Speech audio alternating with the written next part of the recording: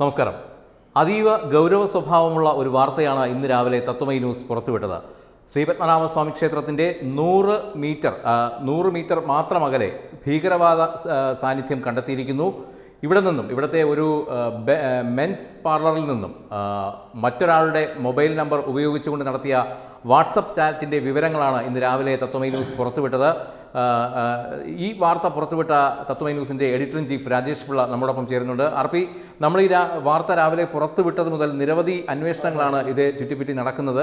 തത്വമയിലും ഇത് സംബന്ധിച്ച് ഒരുപാട് എൻക്വയറീസ് വരുന്നുണ്ട്. നമ്മുടെ ഈ വാർത്തയുടെ ചുവടെയുള്ള കമന്റുകളും സൂചിപ്പിക്കുന്നത് അത്തരത്തിൽ വ്യാപകമായ അന്വേഷണം നടത്തണം എന്നുള്ളതാണ്. ഈ പറഞ്ഞതുപോലെ ഞാൻ ആമുഖത്തിൽ സൂചിപ്പിച്ചതുപോലെ അതീവ ഗൗരവ സ്വഭാവമുള്ള ഒരു വാർത്ത തന്നെയാണിത്. ഇത് പക്ഷേ കേരള പോലീസ് വേണ്ട വിധത്തിലല്ല ഇത് കൈകാര്യം ചെയ്യുന്ന ഒരു പരാതിയും ഇപ്പോൾ നിലവിലുണ്ട്. ഇപ്പോൾ ഇതിന്റെ ഒരു നിജസ്ഥിതി എന്താണ്?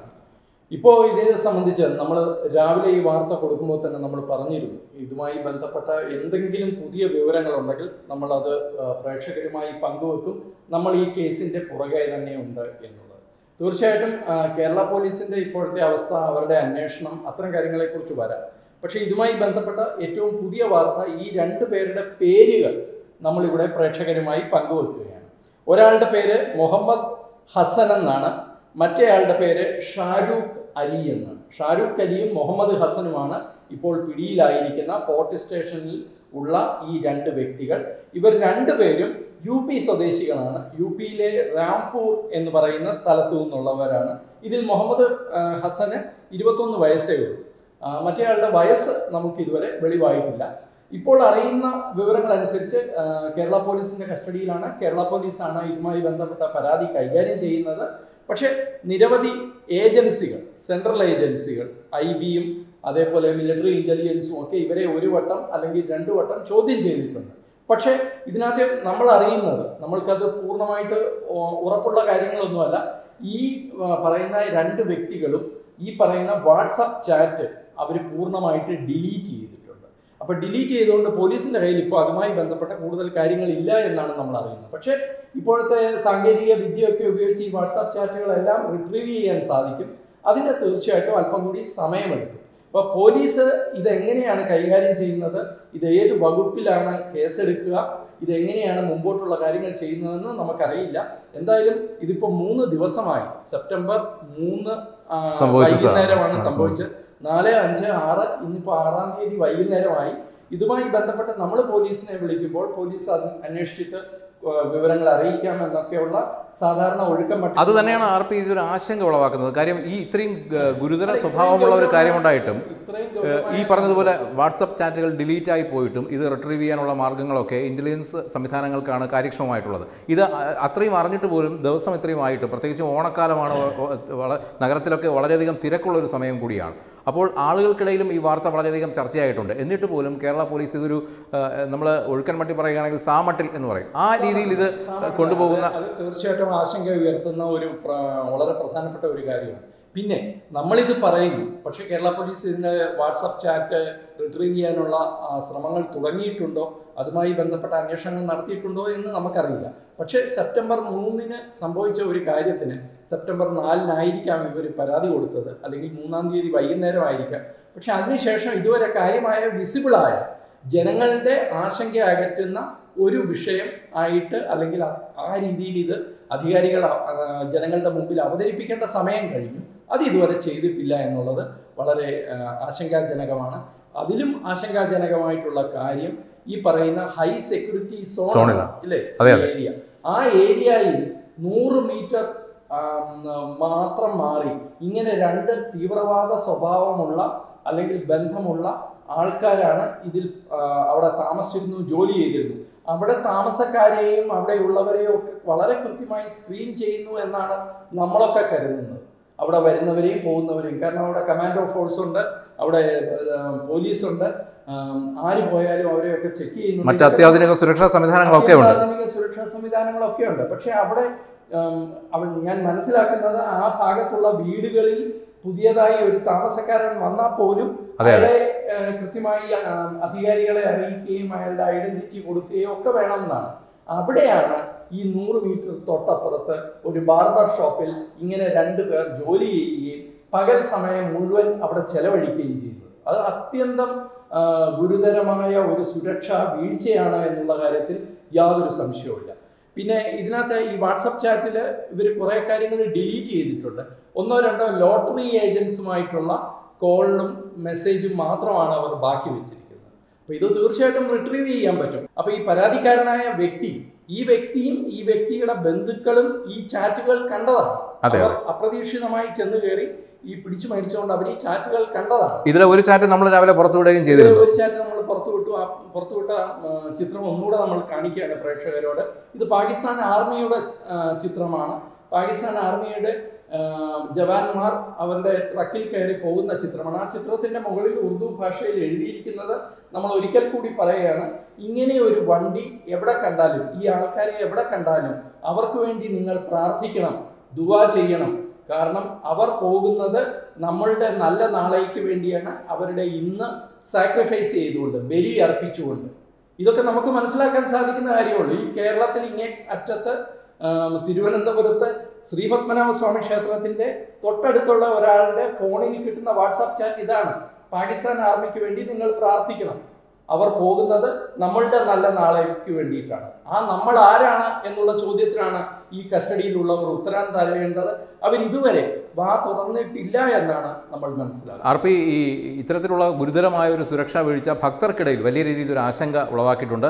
ഇപ്പോൾ ശ്രീപത്മനാഭ സംക്ഷേത്രത്തിന്റെ ഭരണസമിതിയിൽ പ്രവർത്തിക്കുന്ന കുമ്മനം രാജശേഖരൻ ബി ജെ പിയുടെ മുതിർന്ന നേതാവായ കുമ്മനം രാജശേഖരൻ അദ്ദേഹം നമ്മോടൊപ്പം ചേരുകയാണ്. അദ്ദേഹത്തിന് ഈ വിഷയത്തിൽ എന്താണ് പ്രതികരിക്കാനുള്ളതെന്ന് നമുക്ക് നോക്കാം. ശ്രീ കുമ്മനം രാജശേഖരൻ ഈ വിഷയത്തിൽ അതായത് ഇന്ന് രാവിലെ തത്വമൈ ന്യൂസ് പുറത്തുവിട്ട ഗുരുതരമായ ഒരു സുരക്ഷാ വീഴ്ച പത്മനാഭസ്വാമി ക്ഷേത്രത്തെ ചുറ്റിപ്പറ്റിയുള്ള ഈ വിഷയത്തിൽ എങ്ങനെ പ്രതികരിക്കുന്നു? പത്മനാഭസ്വാമി ക്ഷേത്രത്തിൽ വലിയ സുരക്ഷാ ഭീഷണി ഉണ്ടായിരിക്കുന്നു. അതൊരു ലഘുവായി അതൊരു നിസാരമായി കാണാൻ കാര്യമല്ല. ഇതൊരു യാദർച്ഛിക സംഭവമായോ ഒറ്റപ്പെട്ടതായോ കണക്കാക്കാതെ. ഇതിന്റെ പിന്നിൽ നടന്നിരിക്കുന്ന ഗൂഢപ്രവർത്തനങ്ങളും അതിനുവേണ്ടി ഉയർത്തിക്കുന്ന പ്രവർത്തിച്ച പ്രസ്ഥാനങ്ങളും ശക്തികളും ഏതൊക്കെയൊന്ന് കണ്ടെത്തി ഇതിനെ സംബന്ധിച്ച് ഉള്ള എല്ലാ സംശയങ്ങളും നീക്കം ചെയ്തുകൊണ്ട് വളരെ ശക്തമായ നടപടി സ്വീകരിച്ചുവെന്ന് ഉറപ്പുവരുത്താൻ സർക്കാരിന് ബാധ്യതയുണ്ട്. കാരണം ഇതൊരു വലിയ സുരക്ഷാ വീഴ്ചയാണ് അത് എൻ ഐ എ കേസ് ഏറ്റെടുത്ത് ക്ഷേത്രത്തിന്റെ സമീപത്ത് പ്രദേശങ്ങളിൽ ഉള്ള പ്രവർത്തനങ്ങൾ വളരെ സൂക്ഷ്മമായി നിരീക്ഷിച്ച് വളരെ ശക്തമായ നടപടികൾ ഈ കേന്ദ്ര ഏജൻസികൾ എല്ലാം തന്നെ നടത്ത നടത്തേണ്ടതാണ്. കേരള പോലീസിനും അതിന്റെ ചുമതലയും. ഏതാണ്ട് ഇരുന്നൂറിൽ പരം പോലീസുകാരെ വിന്യസിച്ചുകൊണ്ടാണ് ഈ പത്മനാഭസ്വാമി ക്ഷേത്രത്തിലെ സുരക്ഷ ഏർപ്പാടുകളെല്ലാം നടത്തിയിരിക്കുന്നത്. അടുത്ത കാലത്ത് പന്ത്രണ്ട് വിമാനങ്ങളുടെ പ്രവർത്തനം വേണ്ട എന്ന് വെച്ചവർ ഇതിനാണ് ജി പി അത്തരത്തിൽ ഉത്തരവിട്ടത് എന്നുള്ളത് ആശങ്ക ഉണ്ടാക്കുന്ന ഒരു കാര്യമാണ്. സുരക്ഷ ശക്തിപ്പെടുത്തേണ്ടത് ആവശ്യമാണ്. അതോടൊപ്പം തന്നെ സൂക്ഷ്മ പരിശോധനയ്ക്ക് വിധേയമായി ഒരു സുരക്ഷാ ഓഡിറ്റ് നടത്തും. ഇപ്പോൾ നിലവിലുള്ള സംവിധാനങ്ങൾ മതിയായതാണോ ശക്തമാക്കേണ്ടതുണ്ടോ? കുറിച്ച് ശക്തമായ തീരുമാനം അധികൃതർക്കും ഉണ്ടാകേണ്ടത് അത്യാവശ്യമാണ്. തീർച്ചയായും ഇപ്പോൾ കുമ്മനം രാജശേഖരൻ പറഞ്ഞതിൽ തന്നെ ഒരു പ്രധാന ഭാഗം പന്ത്രണ്ട് കമാൻഡോസിനെയാണ് കഴിഞ്ഞ ആഴ്ച അവിടെ സുരക്ഷാ ഡ്യൂട്ടിയിലുണ്ടായിരുന്ന കമാൻഡോസിനെ പിൻവലിക്കുകയാണ് ചെയ്തിട്ടുള്ളത്. ഇത്തരത്തിൽ കമാൻഡോസിനെ പിൻവലിക്കുന്നു മറ്റ് സുരക്ഷാ സംവിധാനങ്ങളൊന്നും അഡീഷണൽ സുരക്ഷാ സംവിധാനങ്ങളൊന്നും ഏർപ്പെടുത്തുന്നില്ല. ഈ ഒരു സാഹചര്യത്തിലാണ് ഇത്തരത്തിൽ ഒരു വെളിപ്പെടുത്തൽ കൂടി പുറത്തു വരുന്നത്. ഈ ഒരു സംഭവത്തെ എങ്ങനെയാണ് ശരിക്കും ഇത്ര ലാഘവത്തോടെ കാണാൻ കഴിയുന്നത്? നമ്മൾ സംശയിക്കേണ്ടത് ഈ സെക്യൂരിറ്റിയുടെ പേരിൽ ഈ കാണിക്കുന്നതെല്ലാം ഒരു കെട്ടുകാഴ്ചയും കാട്ടിക്കൂട്ടലും മാത്രം മാത്രമാണോ എന്ന് നമ്മൾ സംശയിച്ചു പോവുകയാണ്. മുഖ്യമന്ത്രിയുടെ സുരക്ഷയെ സംബന്ധിച്ച് നമുക്ക് എല്ലാവർക്കും അറിയാം. ഇപ്പം മുഖ്യമന്ത്രി എന്തിന് ഇത്രയും സുരക്ഷ അദ്ദേഹത്തിന് വേണം? അദ്ദേഹം ഇത്രയും സുരക്ഷാ ഭടന്മാരെ കൂടെ കൊണ്ട് നടക്കുന്നത് എന്തിന്? എന്നൊക്കെയുള്ള ചോദ്യങ്ങൾ മാറ്റിവെക്കുക അദ്ദേഹത്തിന് ഇത്രയും സുരക്ഷയുള്ള അദ്ദേഹത്തിന്റെ കാറിന്റെ അടുത്ത് വരെ എത്താനും കാറിൽ ചില്ലയിൽ ഇടിക്കാനും പ്രതിഷേധക്കാർക്ക് സാധിച്ചു എന്നുള്ളത് നമ്മൾ കണ്ടതാണ്. അപ്പോൾ അതേപോലെ തന്നെ ഇവിടെ ഇത്രയും കമാൻഡോസ് ഉള്ള ഈ സ്ഥലത്ത് ഈ പറയുന്ന നൂറ് മീറ്റർ ഇപ്പുറത്ത് തീവ്രവാദ അനുഭാവമുള്ള അല്ലെ ബന്ധമുള്ള രണ്ടുപേര് പകൽ മുഴുവൻ ചെലവഴിച്ചിരിക്കുന്നുണ്ട് കഴിഞ്ഞ കുറേ കാലങ്ങളായി. എന്നിട്ടും ഈ പറയുന്ന കമാൻഡോസും കമാൻഡോ സംവിധാനവും സുരക്ഷാ സംവിധാനവും അത് അറിയുന്നില്ല എന്ന് പറഞ്ഞാൽ സുരക്ഷയുടെ പേരിൽ കേരളത്തിൽ ഈ കാണിക്കുന്നതെല്ലാം ഒരു കെട്ടുകാഴ്ച മാത്രമാണ് എന്ന് നമ്മൾ വിശ്വസിക്കേണ്ടി വരും. അല്ലെങ്കിൽ അങ്ങനെ കരുതേണ്ടി വരും. അല്ലാതെ ഇതിനെ സംബന്ധിച്ച് നമ്മൾ കൂടുതൽ എന്ത് പറയാനാണ്? ഇന്നിപ്പോൾ ഈ വാർത്ത നമ്മൾ കൊടുത്തിട്ട് തന്നെ ഇത്രയും സമയമായി. പല പോലീസ് ഉദ്യോഗസ്ഥന്മാരും ഇതിനിടയിൽ അനൗദ്യോഗികമായി നമ്മളെ വിളിക്കുകയും സംസാരിക്കുകയും ഒക്കെ ചെയ്തിട്ടുണ്ട്. പക്ഷേ മറ്റൊരു മാധ്യമത്തിലും ഇതൊരു ചർച്ചയായിട്ടില്ല. ഒരു പ്രൈവറ്റ് ബസ്സിന്റെ സമരവും അല്ലെങ്കിൽ ഒരു പ്രൈവറ്റ് ബസ്സിന്റെ അമിത വേഗത പോലും വലിയ ബ്രേക്കിംഗ് ന്യൂസും വാർത്തയും ആകുന്ന ഈ നാട്ടിൽ ഈ നാടിന്റെ സമാധാന അന്തരീക്ഷം തകർക്കാൻ ഉതകുന്ന അതിന് വഴിമരുന്നിടാൻ സാധ്യതയുള്ള ഒരു വിഷയം ഇതുവരെ വാർത്തയായിട്ടില്ല. അപ്പോൾ ഇതിന്റെയൊക്കെ പിന്നിൽ ഒരു കൃത്യമായ സ്ട്രാറ്റജി ഉണ്ട് എന്ന് തന്നെ നമ്മൾ കരുതേണ്ടി വരും. അല്ലെങ്കിൽ എന്തുകൊണ്ടാണ് ഈ മൗനത്തിന്റെ അർത്ഥം എന്താണ്? ഈ അർപ്പി അതുപോലെ ഈ മറ്റൊരു ആശങ്ക ഉണ്ടാക്കുന്ന സംഭവം ഈ അന്യ സംസ്ഥാന തൊഴിലാളികൾ അതിഥി തൊഴിലാളികളെന്ന് സർക്കാർ ഓമന പേരിട്ട് വിളിക്കുന്ന അന്യ സംസ്ഥാന തൊഴിലാളികളുടെ അമിതമായ ഒരു പെരുകി വരുന്ന ഒരു സാഹചര്യം തലസ്ഥാനത്ത്. കഴിഞ്ഞ ആഴ്ചയാണ് രണ്ടാഴ്ചകൾക്ക് മുമ്പാണ് കേശവദാസപുരത്ത് ഒരു കൊലപാതകം ഒരു വീട്ടമ്മയുടെ കൊലപാതകം ഉണ്ടായത്. അതും ഈ പറഞ്ഞതുപോലെ അന്വേഷണം എത്തി നിന്നത് ഒരു അന്യ സംസ്ഥാന തൊഴിലാളിയിലാണ്. ഈ അതെ, അതെ, വീണ്ടും. ഭാര്യയെ. തലക്കടിച്ച്. അതെ അതെ. തലക്കടിച്ചു കൊന്നിട്ടുണ്ട്. ഇങ്ങനെ സംഭവങ്ങൾ ആവർത്തിക്കപ്പെടുമ്പോഴും ഈ അന്യ സംസ്ഥാനത്ത് നിന്ന് വരുന്നവരെ അവരെ കൃത്യമായി മോണിറ്റർ ചെയ്യാനൊരു സംവിധാനമോ അവരെ നിയന്ത്രിക്കാനൊരു സംവിധാനമോ ഇവിടെ ഇതുവരെയും ഉണ്ടായിട്ടില്ല. എന്താണ് ഈ ഒരു കാര്യത്തിൽ അന്യ സംസ്ഥാനത്തു നിന്ന് വരുന്ന ആൾക്കാരെ നിയന്ത്രിക്കാൻ നമുക്ക് പറ്റില്ല. അവർ ഭാരതീയരാണ്. ഭാരതത്തിലെ മറ്റൊരു സംസ്ഥാനത്ത് ജോലിയെടുക്കാൻ ഏതൊരു ഭാരതീയനും അവകാശമുണ്ട്. പക്ഷെ എന്റെ പ്രശ്നം അതല്ല. ഈ പറയുന്ന ഭാരതീയരായ ആൾക്കാരിലും തീവ്രവാദ സ്വഭാവം അല്ലെങ്കിൽ തീവ്രവാദ സ്വഭാവമുള്ള സ്വഭാവം. ആൾക്കാരെ കണ്ടെത്താനോ അല്ലെങ്കിൽ ഇവരെ മോണിറ്റർ ചെയ്യാനോ ഉള്ള ഒരു സ്ഥിരം സംവിധാനം നമ്മളുടെ കയ്യിൽ ഇല്ല എന്നുള്ളതാണ്. നിങ്ങൾ എല്ലാവരും ഓർക്കുന്നുണ്ടാവും ബോഡോ ബോഡോ വംശജരായ തീവ്രവാദികളെ കൊല്ലത്തു കൊല്ലത്തുനിന്ന് പിടിച്ചത്. വളരെ തീവ്രവാദ സംഘടനയിൽ വളരെ സജീവമായി പ്രവർത്തിക്കുന്ന കുറെ ആൾക്കാരെയാണ് അന്ന് പിടിച്ചത്. ഇപ്പോഴും കഴിഞ്ഞ ദിവസവും അത്തരം ചില അറസ്റ്റുകൾ നടന്നിട്ടുണ്ട്. അപ്പോൾ ഇതിന്റെയൊക്കെ അർത്ഥം ഇവരെല്ലാം കേരളം ഒരു വളരെ സേഫായിട്ടുള്ള അവരുടെ സുരക്ഷാ താവളമായി കാണുന്നുണ്ടോ എന്നുള്ള സംശയമുണ്ട്. അന്യ സംസ്ഥാനത്തുള്ളവർക്ക് കേരളത്തിൽ വന്ന് ജോലി ചെയ്യുന്നതിന് യാതൊരു ബുദ്ധിമുട്ടുമില്ല. അത് ഭാരത ഭാരതീയർ തന്നെയാണ്. പക്ഷെ അവൻ തീവ്രവാദി സ്വഭാവമുള്ളവരെ ആ നാട്ടിലെ നാട്ടിലെ പോലീസുമായി ബന്ധപ്പെട്ട അവരുടെ ക്രിമിനൽ റെക്കോർഡ്സ് പരിശോധിക്കുകയും ഇവരിവിടെ ജോലി ചെയ്യുന്നവരുടെ ഒരു കൃത്യമായ റെക്കോർഡ് ജില്ല തിരിച്ചും ബാക്കി താലൂക്ക് തിരിച്ചും ഒക്കെ അവരുടെ റെക്കോർഡ് എടുക്കുകയും ഇവരെ കൃത്യമായി സിസ്റ്റമാറ്റിക്കായിട്ട് പരിശോധിക്കുകയും വേണം. മാത്രമല്ല അതിലും പ്രധാനപ്പെട്ട കാര്യം ബംഗാളികളും യു പിക്കാരുമാണ് എന്ന് പറഞ്ഞാൽ ഇവിടെ വരുന്ന എല്ലാവരും ഭാരതീയരാണോ എന്നുള്ള സംശയമുണ്ട്. ഇപ്പൊ യു പി നിന്നാണെന്ന് പറയുന്ന പലരും നേപ്പാളിൽ നിന്ന് കടന്നു വരുന്നവരാണ്. അല്ലെങ്കിൽ മറ്റ് സംസ്ഥാനങ്ങളിൽ നിന്ന് വരുന്നവരാണ്. ബംഗാളികളാണെന്ന് പറഞ്ഞ് ബംഗാളിൽ നിന്നാണ് എന്ന് പറയുന്നവർ പലരും ബംഗ്ലാദേശികളാണ്. ഞാൻ നമ്മൾ നേരത്തെ ഈ വിഷയം ചർച്ച ചെയ്തിട്ടുണ്ട്. ബംഗ്ലാദേശികൾ സംസാരിക്കുന്ന ബംഗ്ലായും നമ്മളുടെ ഇന്ത്യക്കാരായ ബംഗാളികൾ സംസാരിക്കുന്ന ബംഗ്ലായും തമ്മിൽ വ്യത്യാസമുണ്ട്. ഭാഷ ഒന്നാണെങ്കിലും വലിയ വ്യത്യാസം. ഇത് മലയാളികൾ അല്ല ഇവിടെ ഇന്ത്യക്കാരായ ബംഗാളികൾക്ക് വളരെ കൃത്യമായിട്ട് അറിയാം. ഇവർ ബംഗ്ലാദേശികളാണ്. പക്ഷെ അവരും പേടിച്ച് അത് പറയുന്നില്ല. അപ്പോൾ കൃത്യമായ ഒരു മോണിറ്ററിംഗിന്റെ കുറവ് ഇവിടെ ഭീകരമായിട്ടുണ്ട് എന്നുള്ള കാര്യത്തിൽ യാതൊരു സംശയവും. എന്തായാലും ഈ ഒരു അരക്ഷിതാവസ്ഥ നാടിന്റെ ഒരു അരക്ഷിതാവസ്ഥ കണക്കിലെടുത്തുകൊണ്ട് തന്നെ തത്വമയി ന്യൂസ് ഒരു പുതിയ ഉദ്യമം മുന്നോട്ട് വയ്ക്കുകയാണ്.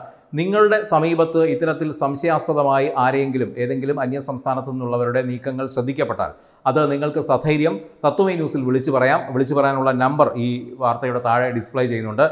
ഈ നമ്പറിലേക്ക് അറിയാവുന്നതാണ്. ഞങ്ങൾ അത് പോലീസ് സംവിധാനവും മറ്റ് ഇന്റലിജൻസ് സംവിധാനങ്ങളും ഉപയോഗിച്ച് ഇതിന്റെ തുടർ നടപടികളിലേക്ക് പോകും എന്നറിയുന്നു. ഇത് നമ്മളിന്നൊരു എഡിറ്റോറിയൽ പോളിസി ആയിട്ട് തന്നെ ഇന്ന് കൈക്കണ്ടിട്ടുള്ളതാണ്. എന്ന് മാത്രമല്ല നമ്മൾ ഇന്ന് രാവിലെ ചെയ്ത വാർത്തയുടെ അടിയിലെ കമന്റ്സുകളിൽ തന്നെ നിരവധി ആൾക്കാർ ആവശ്യപ്പെട്ടിരിക്കുന്നത് കേന്ദ്ര ഏജൻസികളെ അറിയിക്കണം എൻ ഐ എ അറിയിക്കണം എന്നൊക്കെയാണ്. കുമ്മനം രാജശേഖരനും പറഞ്ഞു കഴിഞ്ഞു അദ്ദേഹം എൻ ഐ എ. അദ്ദേഹം പറഞ്ഞു കഴിഞ്ഞു. തീർച്ചയായിട്ടും അത്തരം സംവിധാനങ്ങളൊക്കെ നമ്മൾ ചെയ്തിട്ടുണ്ട്. നമ്മൾ ഈ വാർത്ത കൊടുക്കുന്നതിനോടൊപ്പം തന്നെ നമ്മൾ ചില കേന്ദ്ര ഏജൻസികളുമായും ബന്ധപ്പെട്ട അവരെയും ഈ വിവരങ്ങൾ അറിയിച്ചിരുന്നു. നമ്മൾ അറിയിക്കുമ്പോഴാണ് പലരും അത് അറിഞ്ഞതും എന്നുള്ളത് മറ്റൊരു ആശ്ചര്യജനകമായ കാര്യമാണ്. കാരണം ഇങ്ങനെയുള്ള ഒരു കേസ് വന്നു കഴിഞ്ഞാൽ അപ്പോൾ തന്നെ കേന്ദ്ര ഏജൻസികൾ അറിയേണ്ടതാണ്. പക്ഷെ പലരും അറിഞ്ഞിട്ടുണ്ടായിരുന്നില്ല. ചിലരൊക്കെ അതിനുശേഷം ഈ പറയുന്ന സസ്പെക്ട്സിനെ പോയി ഈ ഇവരെ പോയി കാണുകയൊക്കെ ചെയ്തു. പക്ഷേ കൃത്യമായ ഒരു അന്വേഷണം നടന്നില്ലെങ്കിൽ ഈ വാട്സപ്പ് ചാറ്റുകൾ റിട്രീവ് ചെയ്യാൻ സാധിച്ചില്ലെങ്കിൽ ഒരു പക്ഷേ ഈ കേസ് തേഞ്ഞു മാഞ്ഞു പോകാനും വലിയ സാധ്യതയുണ്ട്. അതോടുകൂടി അത് ഇവരെ ഇവിടെ നിന്ന് പൂർണമായ ബോധ്യമില്ലാതെ ഇവരെ വിട്ടയച്ചാൽ ഇത് വലിയൊരു സുരക്ഷാ ഭീഷണിയിലേക്ക് വളരും എന്നുള്ള കാര്യത്തിൽ യാതൊരു സംശയവും എന്തായാലും ഞെട്ടിക്കുന്ന വാർത്ത തന്നെയാണ് ഇന്ന് തത്വമൈ ന്യൂസ് രാവിലെ പുറത്തുവിട്ടത്. ഇപ്പോൾ അതിന് പിന്നാലെ അവരുടെ പേരും മറ്റു ഡീറ്റെയിൽസും കൂടി തത്വമൈ ന്യൂസ് പുറത്തുവിട്ടിരിക്കുകയാണ്. ഈ വാർത്തയ്ക്ക് പിന്നാലെ തന്നെ ഉണ്ട് തത്വമൈ ന്യൂസ്. എന്തായാലും നമ്മുടെ നാട്ടിന്റെ സുരക്ഷ ഉറപ്പുവരുത്തുക എന്ന ഒരു കർത്തവ്യം. രാഷ്ട്ര വൈഭവത്തിനാണ് മാധ്യമപ്രവർത്തനം എന്ന ഒരു ധർമ്മം മുഖവിലക്കെടുത്തുകൊണ്ട് തന്നെയാണ് ഞങ്ങൾ മുന്നോട്ട് നീങ്ങുന്നത്. ഇനിയുള്ള ഓരോ ചൂടിലും അത് ഉണ്ടാകും. വെബ് ഡെസ്ക് തത്വമൈ ന്യൂസ്